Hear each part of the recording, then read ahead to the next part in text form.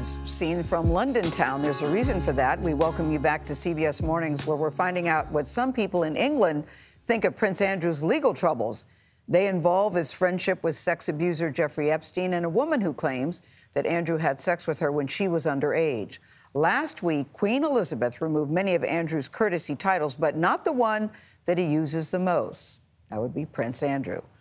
Holly Williams went to the place that inspired that title to get some reaction. The city of York in northern England is steeped in history. Medieval Gothic course, I mean, the biggest cathedral in the country. So On our visit, its medieval streets were shrouded in fog, as murky as the scandal now engulfing Prince Andrew, also known as the Duke of York. I don't think he should be the Duke of York anymore. No, we don't want that. You don't want that association anymore? Not no, at all. Not really, no. Not at all. No. The Dukedom of York is normally held by the monarch's second son. It was conferred on Prince Andrew by his mother, the Queen, when he married in 1986.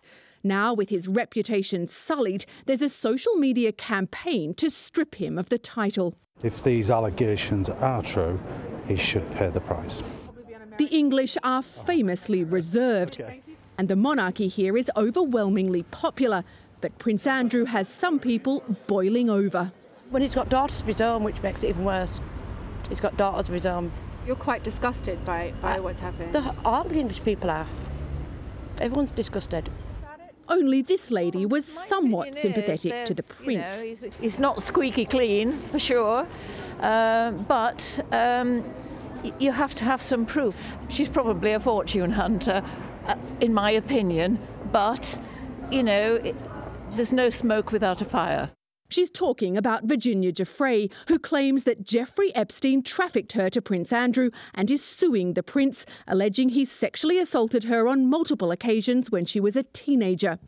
He denies the allegations, has not been charged with a crime, and says he has no recollection of ever meeting Giuffre, despite this photo of them together with convicted sex trafficker Ghislaine Maxwell. I'm not in. In an interview, he claimed it might have been that, doctored. I mean, that is that is what I would describe as as, as me in, in that in that picture. But I can't. We can't be certain as to whether or not that's my hand on on on her, uh, whatever it is, left left side.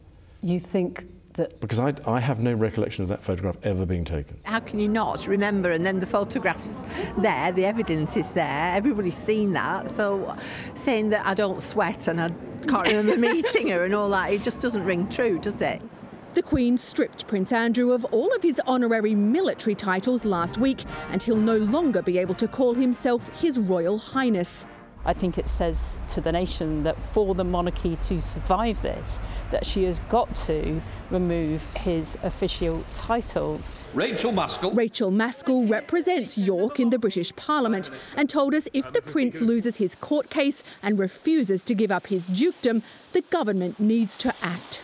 This isn't about the, the court case itself, but this is about the insight into his associations, Ghislaine Maxwell, Jeffrey Epstein, and we know his history. It's all come out and drags us into that story. And as a proud city, we don't want to go there.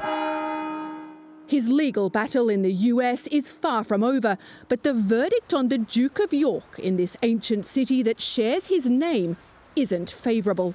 For CBS Mornings, Holly Williams, York. Well, I can appreciate their frustration.